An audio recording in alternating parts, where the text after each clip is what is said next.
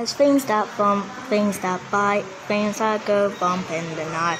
But all these things you sit and ponder, brace yourself, we call it monsters.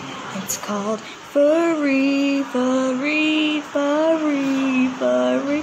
But wait, where's its head? I don't see it anywhere. Oh, it's called furry,